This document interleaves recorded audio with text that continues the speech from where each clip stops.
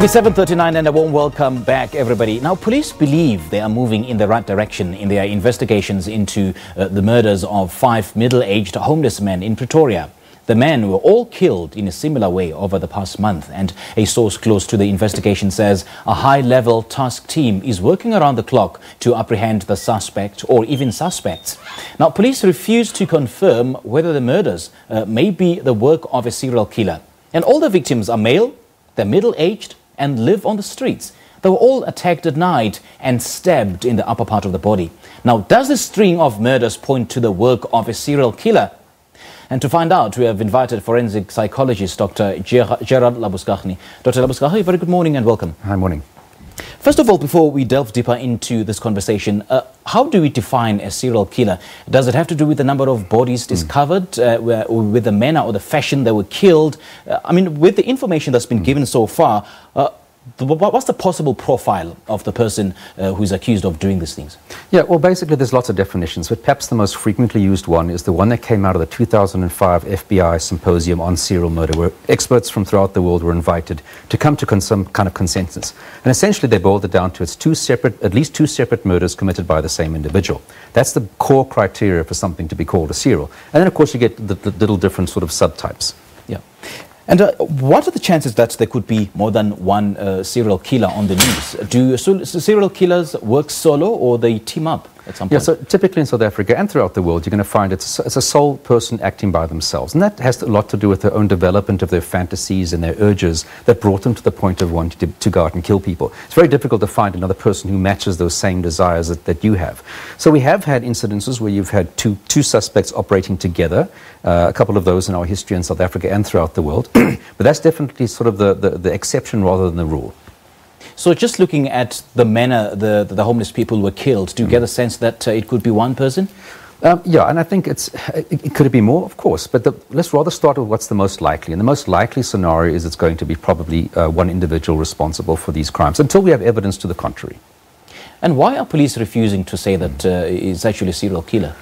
Yeah, look, I mean, if you look at it, what, one of the strongest things we look at when we just get, try to get warning signs that we have a serial is the geographic location of the bodies, and we have that here, very small geographic location, the victimology being similar, and of course the type of wounds inflicted on the body. And if you've got that combination of three issues, you usually would say, let's rather treat this as a serial until we have information to the contrary.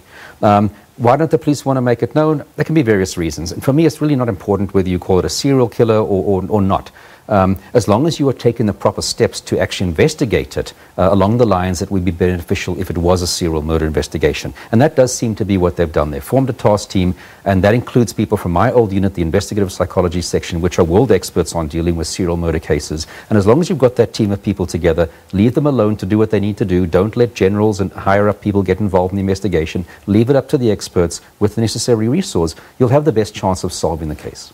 And yeah, and, and, having said that, I mean, upon determination of, whether this is the work of a serial killer or not, does it affect the way police uh, conduct their own investigation? It, it does, um, for various reasons. I mean, we know serial murderers have certain patterns of behavior, certain ways of doing things, uh, which we would then use investigatively to the advantage of the investigation.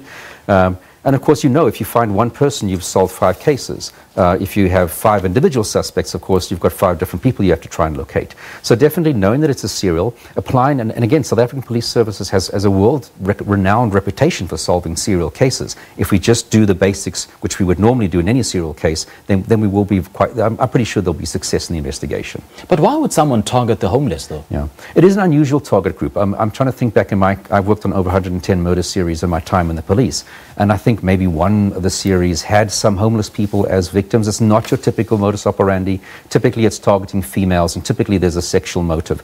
But that doesn't mean it's not serial just because it's not the standard victimology. And in fact, in 2005, we had a Themba Vilakazi who was murdering people in that same area. In fact, Magnolia Dell Park was where some of his victims were found. Um, he was arrested and sentenced in 2015 to, to life sentences, so it couldn't be him operating again. And some of his victims were homeless people. So it's not unheard of, it's not the typical victimology, and that choice of victims will be up to that individual uh, suspect himself. And presuming that uh, this is indeed the work of a serial killer, what should police be on the lookout for in order to narrow down their search in the area?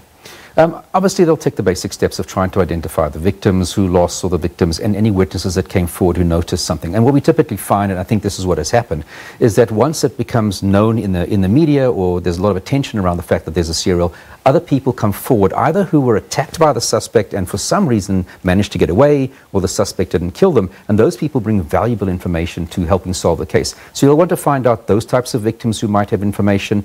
Also, of course, there might be bodies going backwards in, in, into chronological time before the current ones that we're aware of. And, and one of the steps would be to try and find out in the broader ju jurisdictions around that area where there are other bodies, because those might have some valuable information attached to them that could help us obviously solve these cases. Are there any problems with the way the media are covering such stories? I mean, is there a possibility that uh, the way they cover these stories could create uh, perhaps mm. copycat killers?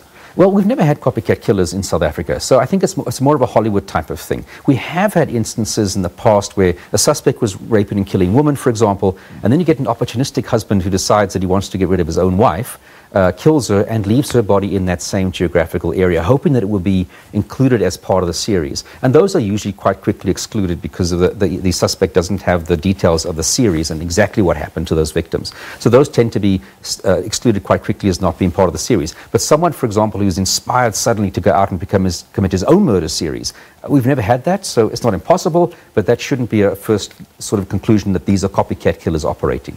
You know, I've had a conversation, a brief conversation rather, with uh, someone who is a student in psychology, and she was of the view that, you know, some of these homeless people can be territorial mm-hmm. in, in their nature. So, do you think that had to do with this kind of uh, killings, that someone mm-hmm. maybe was per- perhaps aggrieved with some of the fellow, uh, the fellow homeless people that mm. he lives with? It is possible, but again, if it's one person, he's still a serial, murder, a serial murderer. He's just motivated by a different reason compared to the Moses Sithole type of serial murderer who's motivated purely by sexual reasons.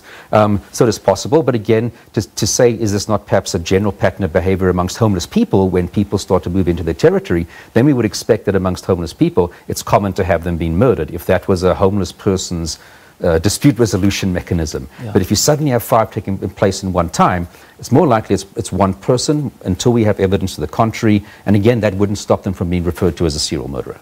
You know, I've, I've watched so many movies and uh, TV series, and serial killers are portrayed in movies as people who, I mean, people who've got sexual motives, as it mm, were. Yeah. Uh, to what degree is this true, especially in the yeah. South African context? Yeah, definitely. And I think that's most, most people's understanding of serial murder, uh, as you say, from the media, but definitely in my own experience. The majority of cases I worked on, there was sexual elements to the crimes, rape of the victim, leaving the victims naked, etc. So that is kind of what we see as the stock standard.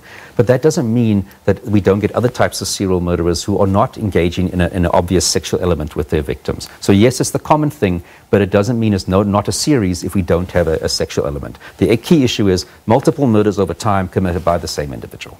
Dr. Labuschagne, we can't thank you enough. Thank My you so pleasure. much for your time. Thank you. Well, many thanks to forensic psychologist Dr. Gerard Labuschagne for talking to us about the profile of a serial killer. We'll have more in a moment. This is Morning Live. Let's take a coffee break.